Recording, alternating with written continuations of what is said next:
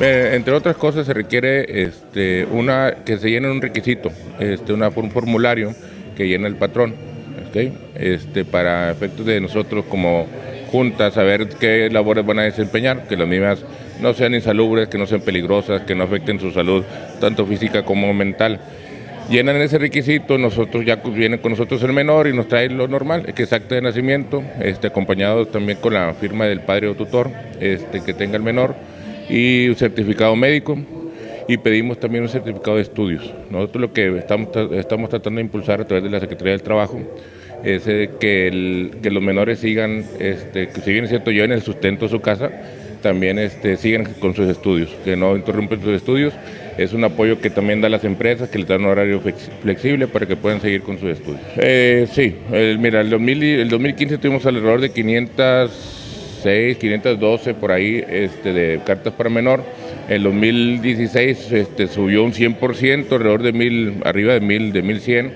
Este, y en este año vamos 206 cartas para menor, es decir, eh, sí hay mucha demanda. Este, lo único que sí pedimos a las empresas es que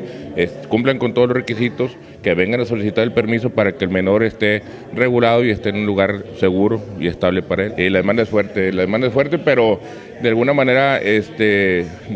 también le atribuimos a que esos menores, esa cantidad de menores, seguramente ya estaban trabajando en el pasado lo único que sí, yo creo que hay más conciencia por parte del, patrón, debe exigirle que vaya y regularice y saque los permisos correspondientes. Entonces, uno de los factores que también hace que se eleve ese número es que ya efectivamente todos los menores que están trabajando, una gran mayoría de los menores este, están ya registrados con nosotros,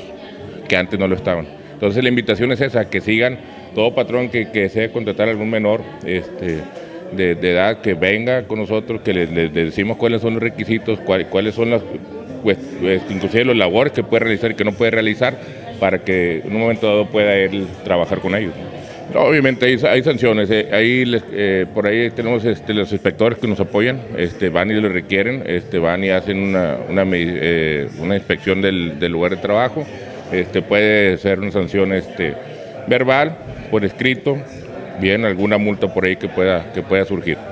Este, esa ya es una cuestión que nosotros ya no manejamos, manejan directamente los inspectores.